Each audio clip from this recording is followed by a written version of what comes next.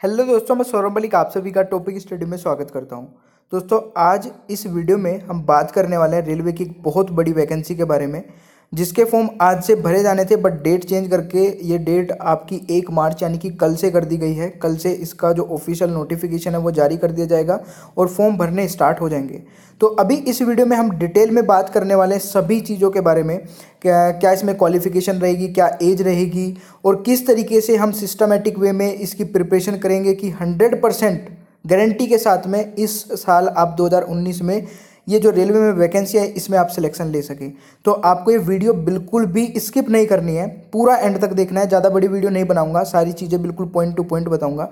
बस आप इसको एंड तक देखिएगा।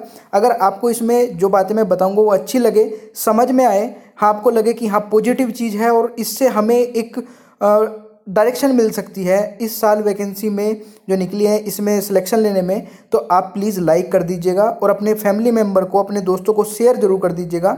ठीक है? और अगर आपने अभी तक चैनल को सब्सक्राइब नहीं किया है तो उस चैनल को तो सब्सक्राइब ज़रूर कर लीजिए, क्योंकि आगे जो पूरी प्रिपरेशन से रिलेटेड वीडियोस अपलोड होंगी और जो टोटल इन्फॉर्मेशन आपको दी जाएगी डेली डेली बेसिस आपकी वैकेंसी निकलने के बाद में, वो सभी आपके पास तभी पहुँच पाएगी जब आप चैनल को सब्सक्राइब कर लेते हैं और बेल आइकन को भी ऑन कर लेते हैं, ठीक है? चलिए अब बात कर लेते हैं वैकेंसीज के बारे में। तो वैकेंसीज की अगर मैं बात करूँ तो यहाँ पे जो आपकी लेवल वन पोस्ट हैं इसमें करीब आपकी एक लाख वैकेंसी तो केवल इसमें ही है, लेवल वन पोस्ट। देखिए, जो ग्रुप डी वाली वैकेंसी थी आपको वो लेवल वन पोस्ट की ही वैकेंसी थी, यानी कि आप ग्रुप डी की वैकेंसी भी इसको बोल सकते हैं, ठीक है? अब अगर मैं बात करूँ बाकी बची तीस हज़ार वैकेंसी की तो वह आपकी है नॉन टेक्निकल पॉपुलर कैटेगरीज की, यानी कि एनटीपीसी की, पैरामेडिकल स्टाफ की, और मिनिस्ट्रल एंड आइसोलेट कैटेगरीज की। ठीक है? तो ये आपकी तीस हज़ार वैकेंसी और साथ ही साथ आपका एक लाख वैकेंसी है लेवल वन पोस्ट में।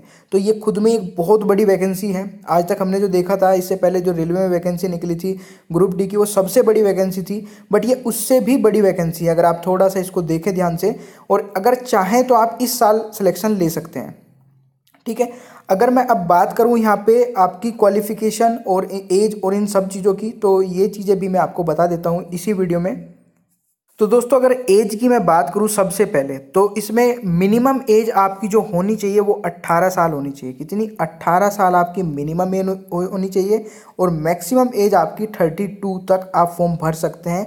ये एज आपकी जनरल कैटेगरी की है। बाकी जो S C S T O B C जो कैटेगरी है टेन परसेंट रिजर्वेशन कोटा है, वो सब कुछ अलग से आपकी एज बढ़ जाएगी। वो नोटिफिकेशन के बाद ही ये सारी चीज़ें पता चल सकेगी। बट अभी जो चीज़ें मैं आपको बता रहा हूँ, ये पहली वैकेंसीज के बेस पे ही बता रहा हूँ, ठीक है? कल आपको डिटेल में पता चल जाएगा। ये तो है ही, अट्ठारह से बत्तीस तो है ही जनरल वालों की। फिर अगर मैं क्वालिफिकेशन की बात करूँ तो इसमें मिनिमम जो मतलब आपकी क्वालिफिकेशन रिक्वायरमेंट है, वो टेंथ पास होनी चाहिए। अगर आप टेंथ पास हैं तो आप एलिजिबल हैं यहाँ पे फॉर्म भरने के लिए। और आईटीआई के लिए कोई भी यहाँ पे रिस्ट्रिक्शन नहीं है कि आपके पास आईटीआई होना चाहिए या नहीं होना चाहिए आपके पास। हो, तब भी ठीक है, अगर नहीं है तो तब भी ठीक है, कोई इसमें रिक्वायरमेंट नहीं है।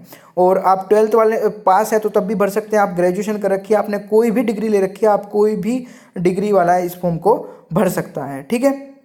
और बाकी इसमें एग्ज़ाम की अगर मैं बात करूँ तो एग्ज़ाम में वही सी बी टी वन और सी बी टी टू आपका स्टेज जो होता है, वही इसमें एग्ज़ाम होना है। और बाकी ये सारी चीज़ें तो हो गई एक प्रीवियस जो वैकेंसीज थी, उनके आधार पे।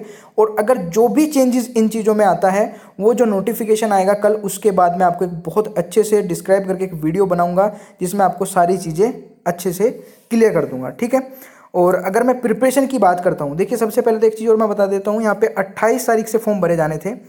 ये आपका एम्प्लॉयमेंट न्यूज़ है, जिसमें बताया गया था कि 28 तारीख से फॉर्म भरे जाने थे बट ये 28 से चेंज होकर कल की डेट रख दी गई है। तो ये है। बाकी और सारी चीज़ें कल ही डिस्कस करेंगे, क्योंकि आज ये चीज़ें तो मैं पहले भी आपको डिस्कस कर चुका हूँ कि फ़ीस कितनी है, कैसे रिफंड होगा, ये बाकी चीज़ें और कल डिस्कस करेंगे।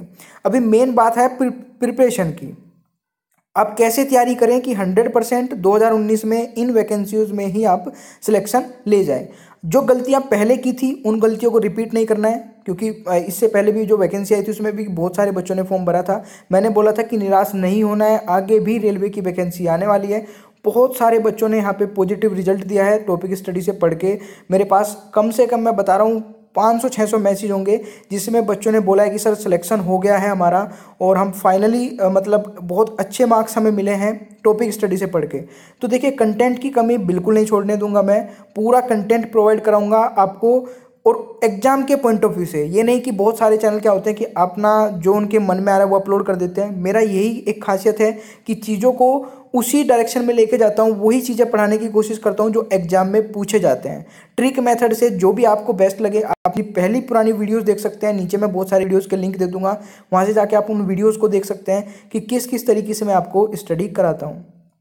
तो ये चीज़ें मैं आपको बता देना चाहता हूँ पहले से ही कि आप बिल्कुल भी वीडियो को मिस मत करिएगा, क्योंकि पूरे के पूरे कोर्सेज यहाँ पे आपके लिए अपलोड किए जाएँगे। ठीक है पूरा पूरा कोर्सेज मैथ का आपको कराऊँगा मैं रीजनिंग का करूँगा और जीके में आपका पूरा जीके कराऊँगा, ठीक है साइंस का पूरा पोर्शन कराऊँगा तो टेंशन बिल्कुल नहीं लेनी है, जो भी आपके डाउट्स रहेंगे, वो भी साथ ही साथ डिस्कस किए जाएँगे, ठीक है?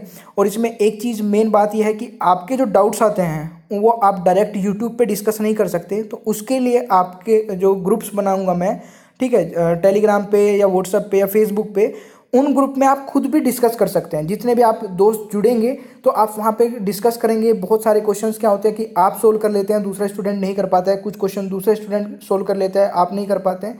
वो इस तरीके से स्टडी करने वाले हैं कि कोई भी प्रॉब्लम आपकी नहीं बचे। जब आप एग्ज़ाम देने जाए तो आपको एक ऐसा कॉन्फिडेंस हो कि हाँ मैं इस जो एग्ज़ाम को देने आया हूँ, इसमें हंड्रेड परसेंट क्लियर करके ले जाऊँगा और इसको हंड्रेड परसेंट सिलेक्शन ले जाऊँगा। ठीक है? तो ऐसा कुछ मैं आपके लिए सिस्टमेटिक वे में एक पूरा स्केड्यूल बना रहा हूँ और किस किस तरीके से हमें पढ़ाई करनी है, वो सब कुछ मैं इस उसमें आपको बता दूँगा, ठीक है? अगर आपको ये मेरा जो एक इनिशिएटिव है, जो मैंने आपके लिए एक डिसीज़न लिया है मेहनत करने का भी और आपको पढ़ाने के लिए जो ये पॉजिटिव चीज़ें सोची हैं, अगर आपको पसंद आई है तो प्लीज़ मुझे कमेंट बॉक्स में एक पॉजिटिव सा रिप्लाई दे दीजिएगा, ताकि एक मोटिवेशन मिल जाए हाँ कि मैं अच्छा कर रहा हूँ और आपको भी वो अच्छा लग रहा है, ठीक है? फिर मिलते हैं नेक्स्ट वीडियो में। कल मैं आपको जो पूरा नोटिफिकेशन आएगा उसको डिस्क्राइब करके बताऊँगा। उसमें मिलेंगे। बाकी के लिए, तब तक के लिए आपका बहुत बहुत धन्यवाद वीडियो देखने के लिए। मिलते हैं नेक्स्ट वीडियो में। तब तक के लिए टेक केयर वीडियो को देखने बहुत बहुत धन्यवाद। आपका दिन सुबह